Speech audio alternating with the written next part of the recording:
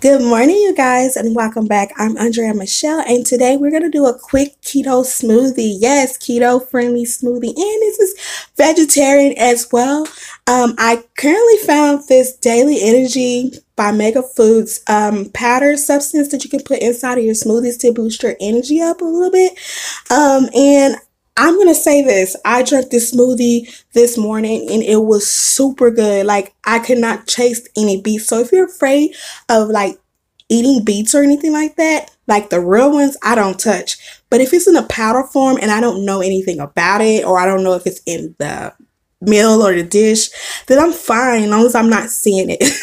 so, but anyways, don't be afraid to try new things like I am. Just living on the edge right now, you guys. I want to try these new vitamin um uh, vitamin powders that they have at um my local sprouts market. And so i just got went ahead and grabbed a couple few of them um but today i was just like really stunned because i went ahead and made up a smoothie that i made the day before and i had it this morning. And so what i have in there is just regular raspberries regular chia seeds that I got from DD's discount, and then some spinach in there. And if your your chia seeds do not come out all come out of the Ziploc bag, definitely put some water in there, shake it up, shake it all about, hey, do the hokey pokey if you want to, and then pour it all in the blender. So the blender that I'm using today is my Ninja blender. My mom always get me a blender at Christmas because she know I love, love, love Ninja blender. It's just something about the Ninja blender that I really love. Um, but yeah, as you can notice, I didn't put, oh yeah, I did put strawberries in there. So I definitely wanted to be like an antioxidant uh, type of smoothie.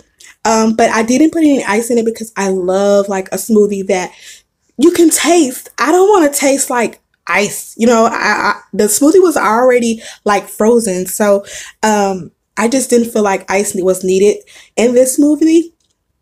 But anywho, to each his own. So if you need ice in yours, you love ice in yours, definitely go ahead and do it. But girl, it tastes so much good. It tastes cold. It tastes like you can taste the fruit in it and all that good stuff. But I scraped the sides because I was like wondering why is these chia seeds not blended up? So next time I'll know to blend the chia seeds before I put them in my smoothie and it'll all work out. Like it'll all work out. But it looks so good. Like, oh my gosh.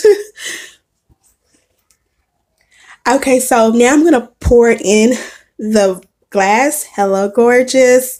Um, I always love a quote glass. Like I love it. It just makes my day.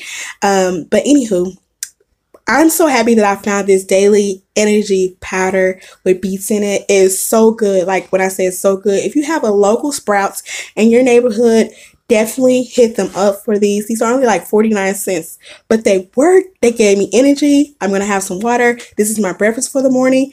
Happy keto and have a great day.